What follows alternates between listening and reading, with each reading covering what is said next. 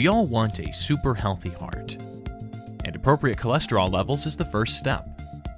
Scope Care shares tips for lowering cholesterol through your diet and making the most of exercise to reduce your risk for heart related emergencies.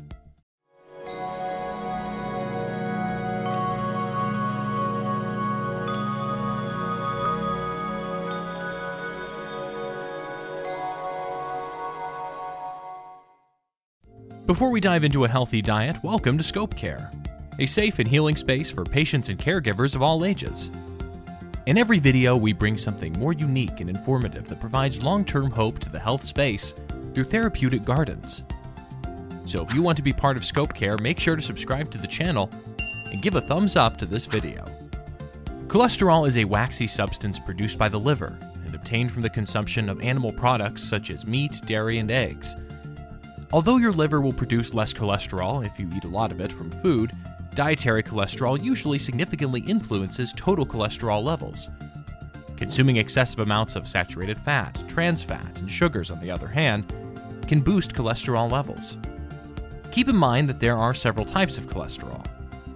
While good HDL cholesterol is essential for your health, high levels of bad LDL cholesterol have been associated with an increased risk of heart disease, heart attack, and stroke.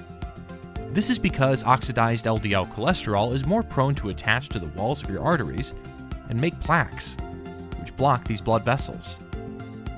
Here are 10 ways to lower cholesterol with your diet and help reduce your risk of heart disease. Let's get started. Number 1. Eat foods rich in soluble fiber. Beans, legumes, whole grains, flax, and citrus all contain soluble fiber. However, as humans lack the enzymes needed to break down soluble fiber, it passes through the digestive tract, absorbing water and producing a thick paste. Soluble fiber absorbs bile as it passes, a chemical generated by the liver to help in fat digestion. However, both the fiber and the attached bile are eventually eliminated in your stool. Bile is produced from cholesterol. So when your liver needs to make more bile, it takes cholesterol from your bloodstream, decreasing cholesterol levels naturally. In as little as four weeks, regular soluble fiber consumption is associated with a 5 to 10% reduction in both total cholesterols and bad LDL cholesterol. It's recommended to eat at least 5 to 10 grams of soluble fiber each day for the maximum cholesterol lowering effects. Still, benefits have been seen at even lower intakes of 3 grams per day. Number 2. Enjoy lots of fruits and vegetables. Eating fruits and vegetables is an easy way to reduce LDL cholesterol levels. Adults who take at least four servings of fruits and vegetables per day had a 6% lower LDL cholesterol level than those who eat less than two servings per day. Fruits and vegetables also have a high concentration of antioxidants, which prevent LDL cholesterol from oxidizing and forming plaque in your arteries. These cholesterol lowering and antioxidant properties, when combined, can minimize your risk of heart disease so, people who eat the most fruits and vegetables have a 17% lower risk of developing heart disease over 10 years than those who eat the fewest. Number 3. Cook with herbs and spices. Herbs and spices are nutrient dense foods full of nutrients, minerals, and antioxidants. When eaten on a daily basis, garlic, turmeric, and ginger are very good at lowering cholesterol. Just one garlic clove every day for three months is enough to reduce total cholesterol by 9%. Herbs and spices also include antioxidants that prevent LDL cholesterol from oxidizing, thereby minimizing plaque formation in your arteries. Even though herbs and spices are not commonly taken in big numbers, they can considerably add to the overall quantity of antioxidants eaten each day. Some of the highest antioxidant levels are found in dried oregano, sage, mint, thyme, clove, allspice, and cinnamon, as well as fresh herbs including oregano, marjoram, dill, and cilantro. Number 4. Eat a variety of unsaturated fats. Food contains two types of fats, saturated and unsaturated. Saturated fats have no double bonds and are highly straight, packing together tightly and remaining solid at room temperature. Unsaturated fats have at least one double bond in a twisted form, which prevents them from adhering as tightly. Because of these properties, they are liquid at room temperature. In just 8 weeks, most of your saturated fats and unsaturated fats can reduce total cholesterol by 9%, and bad LDL cholesterol by 11%. Avocados, olives, fatty fish, and almonds are rich in heart healthy unsaturated fats, so eating them daily is good. Number 5. Avoid trans fats. Trans fat is unsaturated fat that has been modified by hydrogenation. Manufacturers use this hydrogenation process to make the unsaturated fats in vegetable oils more stable and healthy as an ingredient. You can often find hydrogenated oils in shortenings and margarine. Food manufacturers prefer trans fat because they offer more texture than unsaturated liquid oils. This trans fat may benefit these food companies, but they are not suitable for the human body.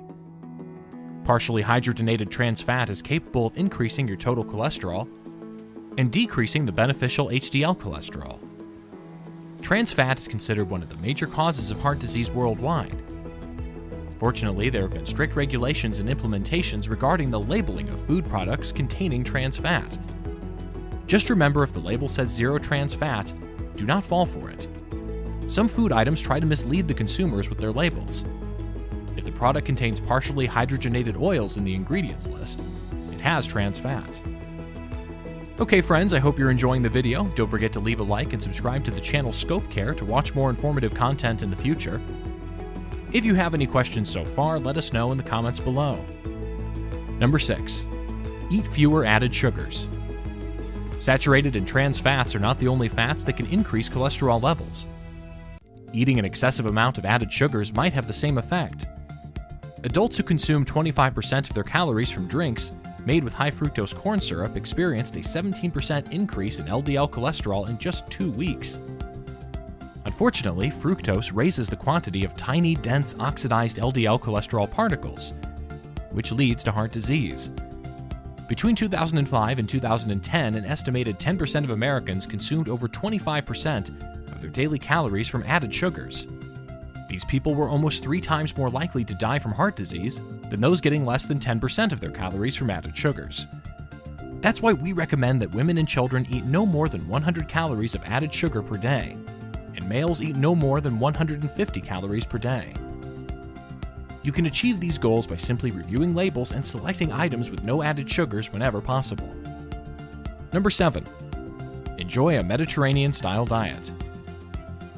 Following a Mediterranean style diet is one of the easiest ways to incorporate healthy lifestyle adjustments. Mediterranean diets are abundant in olive oil, fruits and vegetables and nuts, whole grains and seafood, but low in red meat and dairy. This diet plan is considered highly heart healthy because it contains many cholesterol lowering meals while avoiding many cholesterol raising ones. In fact, a Mediterranean style diet for at least three months reduces LDL cholesterol by an average of 8.9 milligrams per deciliter. It also lowers the risk of heart disease by up to 52%, and the risk of death by up to 47% when followed for at least four years.